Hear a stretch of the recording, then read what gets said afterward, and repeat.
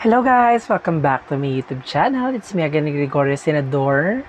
Um, yeah. It's been a while since I had my last upload. I know you guys missed me. Medyo natagalan ako bago ako naglakas loob na gumawa ulit ng bagong video. I was fighting a lot of things in my head. A lot had happened already in the past few months in my life.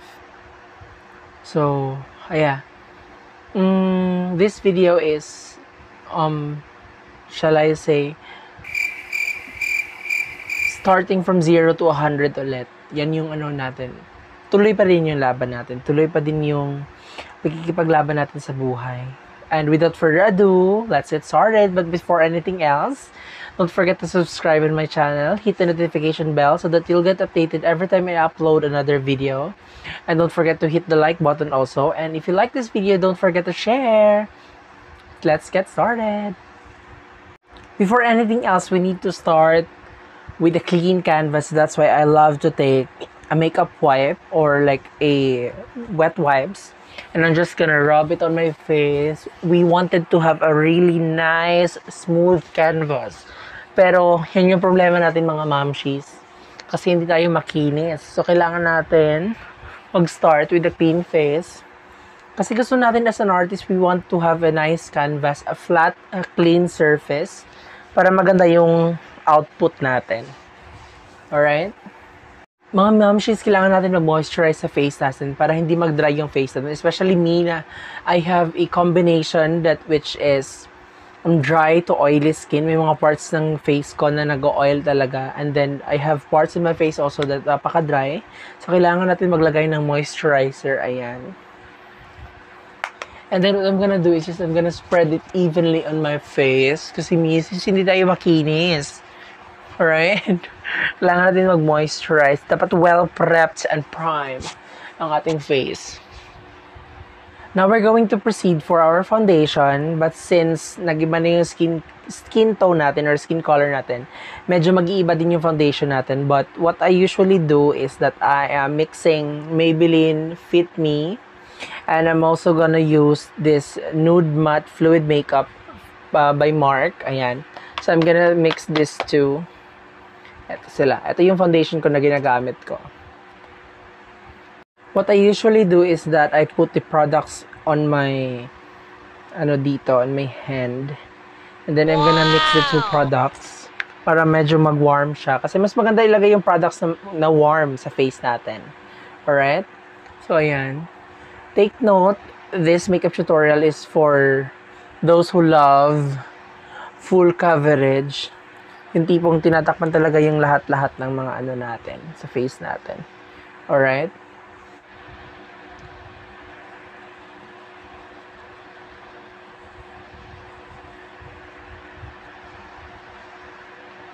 After putting the foundation, next we're gonna put hairline concealer. Ayan.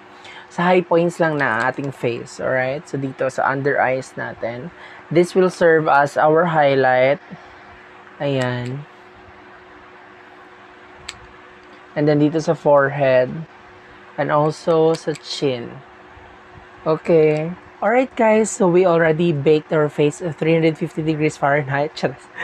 and we also popped our contact lens already. And now we're going to proceed for our eyebrows. This time, um, I wanted to make my eyebrows very bold and fierce, alright? Wow! Okay, so I'm gonna start drawing in my eyebrows. There we have it, guys. My very wow. bold and fierce eyebrows. Alright, so next we're going to clean it up. So I'm just gonna use my Maybelline concealer.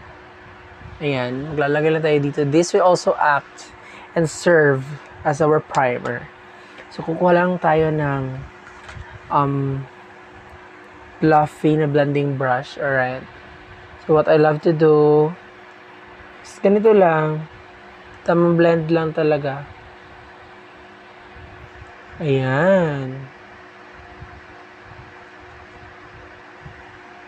Ngayon, pumunta naman tayo sa next part, which is the eyeshadows. And we're gonna zoom you in in 3, 2, 1. Charan! Ayan, we're very, ano na, close to each other. Alright, gusto niyo ba yun? May pa-zoom in si madam. Kukulan po tayo ng eyeshadow natin, which is the Beauty Glazed. Ayan, Beauty Glaze Color Fusion Over the Rainbow Palette. As you can see guys, I really love the colors na andi dito. Ayan. Ayan, medyo messy nga lang siya kasi, you know naman, um, for today's look, I don't know, ano lang, simpleng pag-girl lang talaga yung look na gagawin natin. So what I'm gonna do is that I'm just gonna take a eyeshadow brush and we're gonna start with our base color. So starting from the outer perimeter, we're just gonna blend it in like so. So there you have it guys, our base color, ayan. Ito na siya. And next, we're gonna put the other eyeshadow. And kukuha ulit tayo ng ibang eyeshadow brush. And I'm gonna apply the next color. Medyo ano siya, ito, darker color. Dito na ilalagay sa outer perimeter of the eyes. Ayan, dito na part. And then we're just gonna blend that product in to create a smoky effect. Ayan. Para hindi masyadong harsh yung eyeshadow, eyeshadow natin, kukuha tayo ng malinis na blending brush and we're just gonna blend everything together, alright? Yung nga, tama blend lang para seamless yung ano niya, seamless yung pagkakalagay. The next thing that we're gonna do is that we're going to cut the crease. So as you can see, naglagay na po tayo ng ating base color and then the transition color, which is that lovely red. And then, kung walang po tayo ng um, tawag ito, concealer brush, and then we're just gonna cut the crease like so.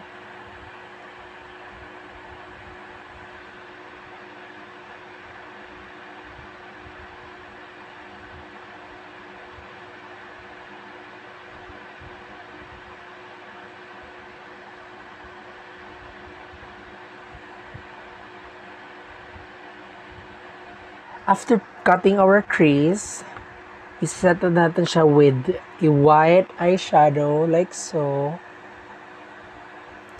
Usually, ito talaga yung ginagawa ko before I put something else. After putting the white eyeshadow, next we're gonna proceed in putting this glitter right here. Ayan. Glitter-glitter tayo ngayon. Ay, today, ano, mga momshies. So, ayan. Nalagay ko lang siya like so. Actually, bongga talaga yung ano, mga mamshi. Ito. Mga sisi kong fresh dyan. Itong color board by Beauty Glaze. Medyo powdery nga lang yung pagkaano niya. Medyo chalky. Pero I love the colors. Ipapak lang natin mga misis yung ano ha. Glitter sa atin dito. Eto na siya mga momshies. Laban na ba? Pack na pack na ba? I'm done putting my eyelashes and eyeliner. Next, I'm gonna put eyeliner on my lower lash line and also the shadows. So, ayan guys, nakapaglagay na tayo ng ating eyeliner sa ating lower lash line and also the shadows. Now, we're gonna blend the products. All of the products. Ayan.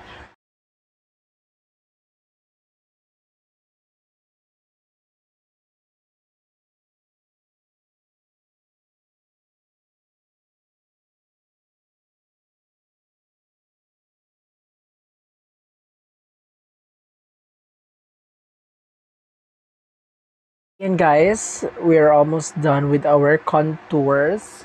Ayan. So next is we're going to apply our lip liner para mas maging Kim K yung lips natin. Alright, so I'm just gonna use my EB Matte Lip Liner. Kuha lang pa tayo ng mirror. Where's my mirror? Where is it? Alright, dito lang pala. Alright.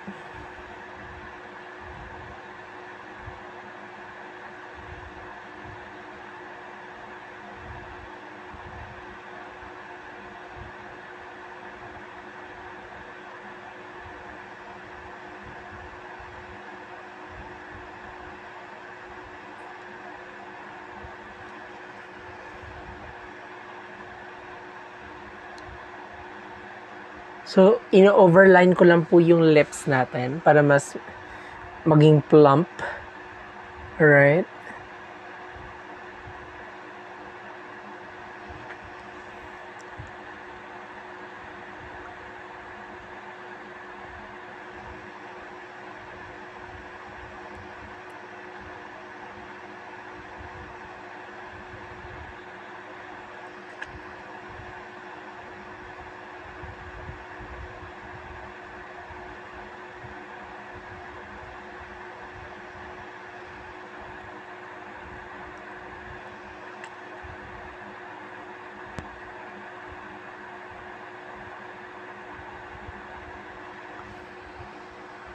Ayan.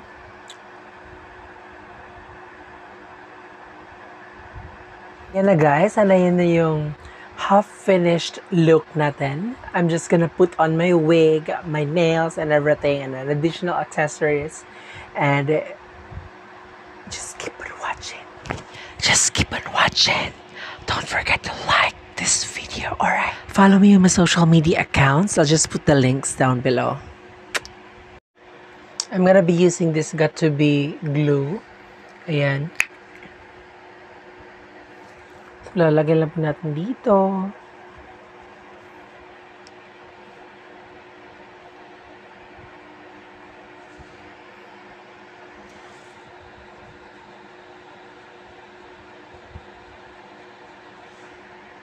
Pero maganda yung placement ng ating lace. Mamaya, pagkalagay natin ng ating lace front wig. Ayan.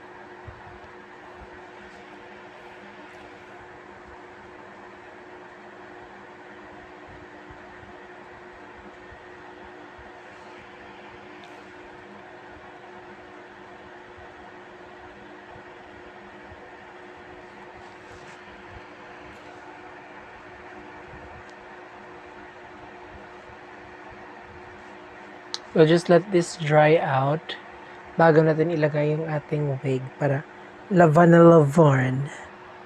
Alright? Just stay tuned. This is the final look. Wow! Laban na ba? Nanlalaban ba? Chance! Ayan. Don't forget to subscribe to my channel, hit the notification bell so that you'll get updated every time I upload another video. Don't forget to like this video, share if you want to share this video. Ayan, I hope you guys like this video. Ayan. Sana nagustuhan niyo yung tutorial na ginawa ko. And I won't promise but I will do my best to upload more videos in this channel. Alright? I love you all guys. I just put the links down below on my social media accounts. Please don't forget to follow me para updated kayo sa buhay ko palagi. Ayan. I love you all guys. Ingat kayo palagi. Stay at home. Always wear your mask. Always sanitize. And may God bless us all. Love you all.